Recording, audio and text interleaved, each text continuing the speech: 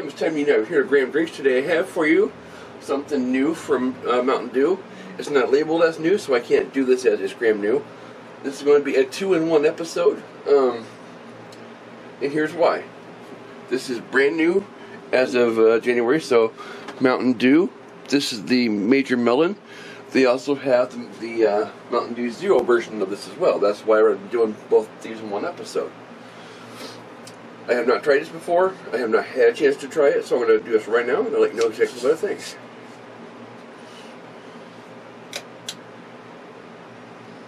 Alright, Major Melon. Do you charge with watermelon? Hmm. Let's find out exactly how watermelon, uh, watermelony it is.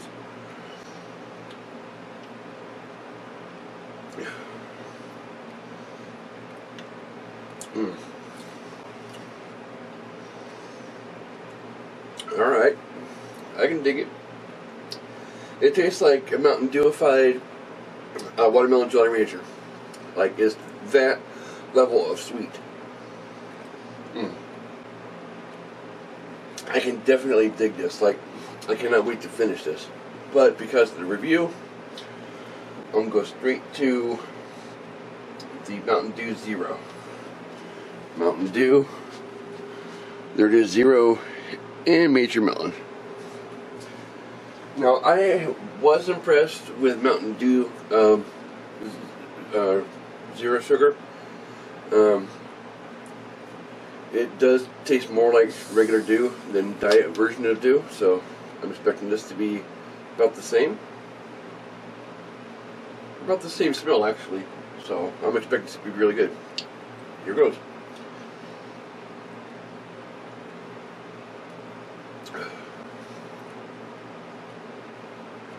Ooh. Mm. I ain't gonna lie. There's hardly any difference between the two.